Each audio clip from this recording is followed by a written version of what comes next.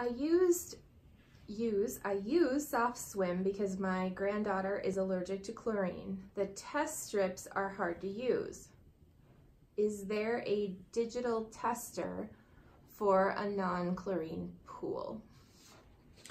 So SoftSwim is a biguanide and I don't know if there's a digital test for that or not.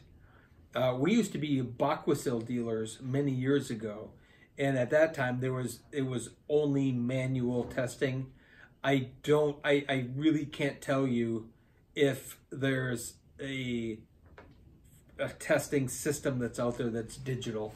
I would suspect probably not because it's a really specialty product and likely you're just going to have to upgrade whatever you're testing with and either get all new test strips or see what else is out there.